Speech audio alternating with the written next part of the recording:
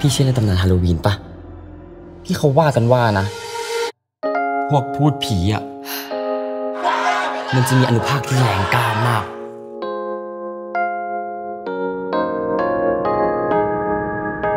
จนสามารถมาอยู่ในโลกมนุษย์ได้จริง ๆ เลยพี่ ก็แค่อาจรั